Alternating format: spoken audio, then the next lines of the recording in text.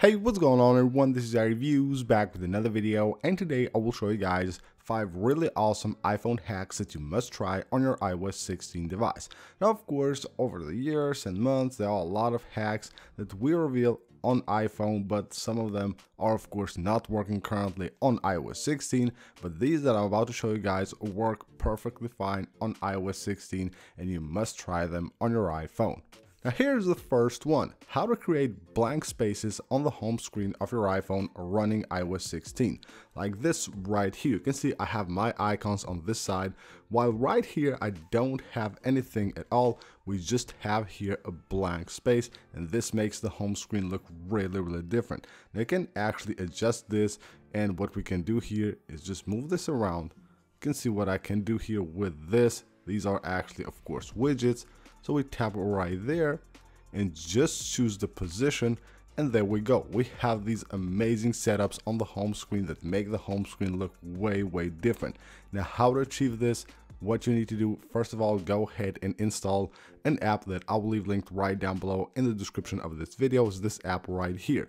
Once you have the app installed, head onto your home screen, go to the edit mode, swipe to the last page where there are no icons at all, take a screenshot, and now go to the app, just go into the app and load the screenshot you just took. Once you have done that, now you're good to go. All you have to do now is go to the home screen and just add the widgets there and of course choose the position of where you have the widget so you can add the, the smaller the medium and the bigger widgets and have blank spaces anywhere you want on the home screen of your device Another really cool thing you can do with this app and also in combination with widgets on the home screen, you can have secret or hidden widgets on the home screen. Like you can see, we have this blank page right here, but we can actually reveal these widgets. We can again just put them away and just like that we have a totally blank page on the home screen. Now this is really interesting. Anytime you need a widget you can reveal it like this and then just hide it like this.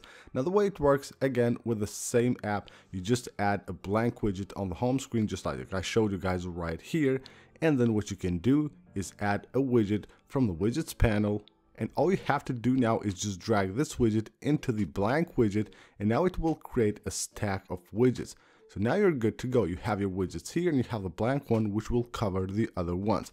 Now what you need to do here is just go to tap edit stack and make sure you have these two disabled and now you're good to go. You will have these widgets that are actually hidden right on the home screen of your device.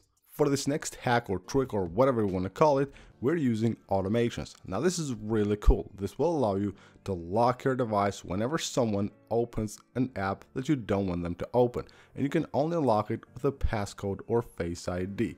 I showed you guys a video how to lock apps before. This is not the same thing. This is different. Let me show you guys how to do that. So tap on create personal automation, find app here, choose the app you want to lock, tap on the done button, and then tap next, tap on add action and search for start guided access.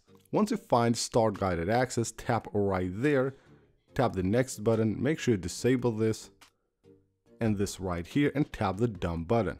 What you need to do next is head on to your settings and make sure you have set up guided access. So you go to accessibility and find guided access right here Make sure you go to passcode settings and enable Face ID. And of course, you can set a passcode here. So let's just set one.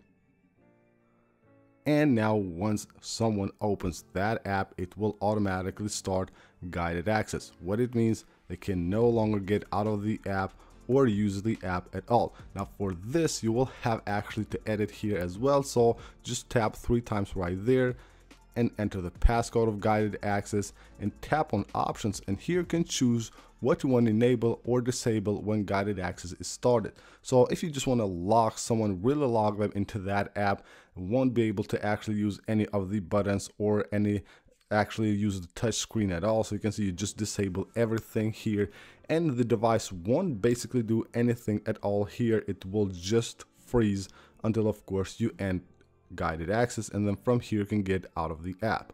Here's another really cool trick that you can do with automations. If you just want to mess with someone or you actually don't want to allow someone to use an app, you can just get them out of that app immediately by doing this hack. Go to automations right here, tap on create personal automation and go to app and choose the app you don't want someone to open.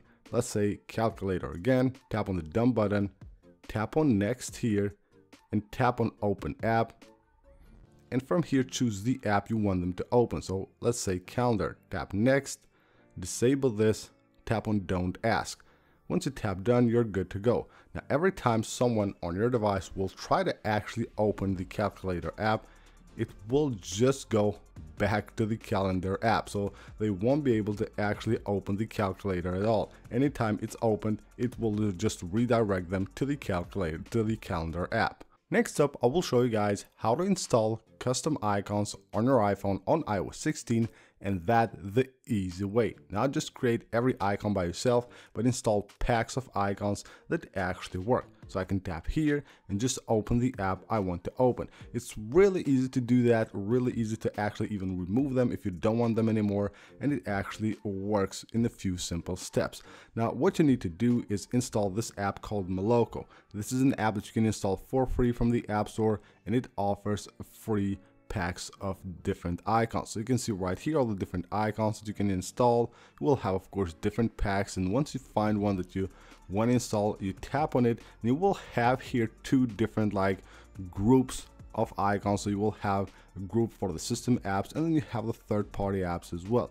Now what you want to do here, just tap on download. It will redirect you to Safari and just install this profile on your device. Once the profile is installed, you're good to go. You have the icons on the home screen and they look actually really, really nice.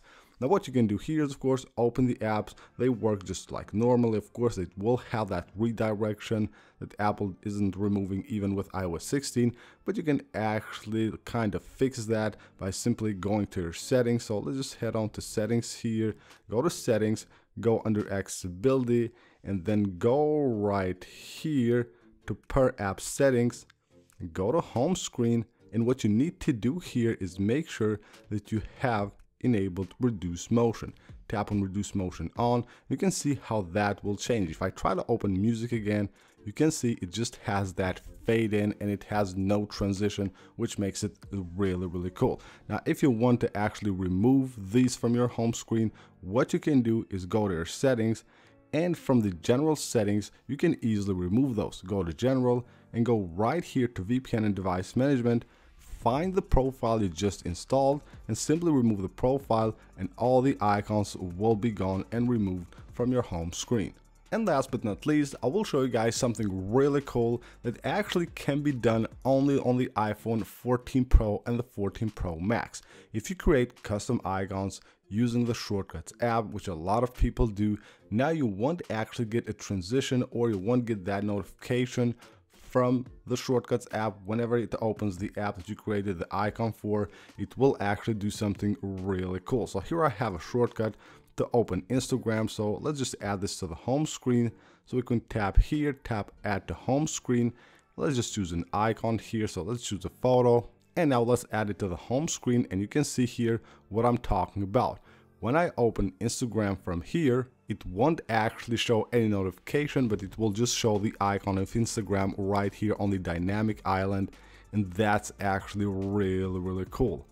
You can see every time you open an app, it will show the icon right there on the dynamic island. This is a really nice animation that Apple has added with iOS 16 and of course the dynamic island and makes this thing much, much better. So that's pretty much it for this video guys. These are five hacks that you can try right now on your iOS 16 device. I hope you guys enjoyed the video. Leave a like if you did and of course subscribe for more. I'll see you on the next video.